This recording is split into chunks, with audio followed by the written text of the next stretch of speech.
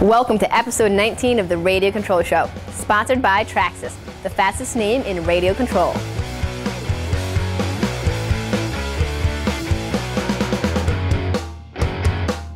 Hangar 9's latest aerobat, the Funtana 125, definitely lives up to its name. It's a cinch to assemble and can perform everything from sport maneuvers to wild 3D aerobatics. A 125 four-stroke is ideal power plant for the 70-inch span plane. Check out the exclusive review in the November issue of Model Airplane News on newsstands now. Well, we took our first flight with the Funtana 125 and to be honest with you, there were no surprises. She performed as expected and had radical control throws, but the aircraft never lost control. Um, knife edge was beautiful, easy. Um, in the world of aircraft, this is a keeper. You may or may not know that Crandon, Wisconsin is the world capital of off-road racing. We were just out there for the track's 40th anniversary and the Traxxas TORC Series race. Let me tell you, it was unbelievable. The weekend was packed with both full-size and RC action.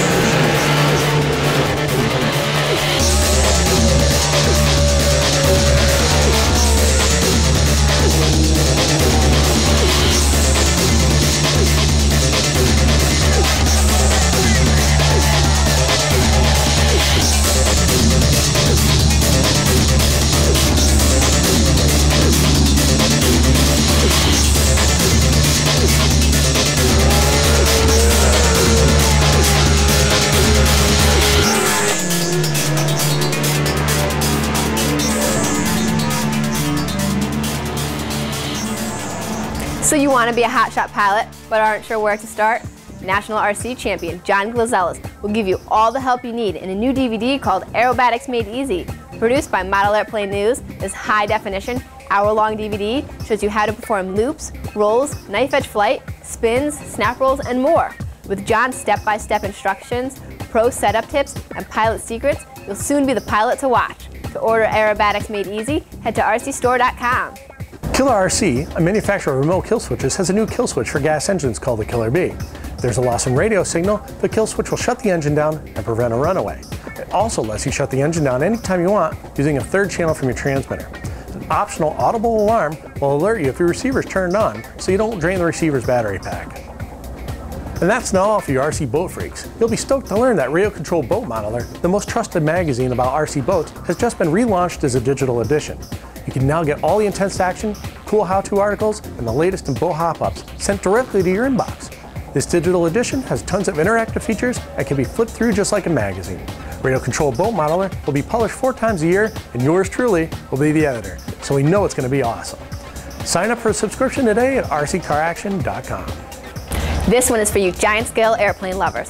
Carl Bachhuber's enormous B-36 has an amazing 19-foot wingspan and is powered by six Zenoah G26 gas engines. The plane's polished aluminum finish is actually bright chrome vinyl material burnished with Scotch-Brite pads. Read more about this scratch-built bomber in the November issue of Model Airplane News.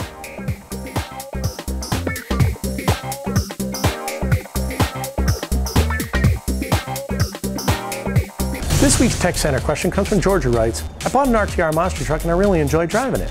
I recently noticed that the engine bogs when I get on throttle and it takes a while to clear out. Why would this just happen all of a sudden?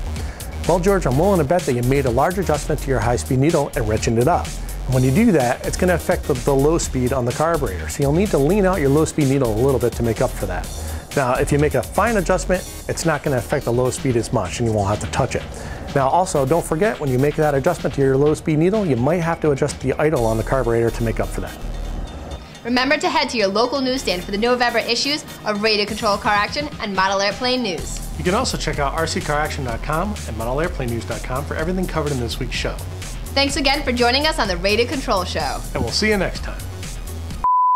Then you, I guess you could stop it, and then you say it lets you kill the engine from. I haven't seen the rest. I don't know if it's right.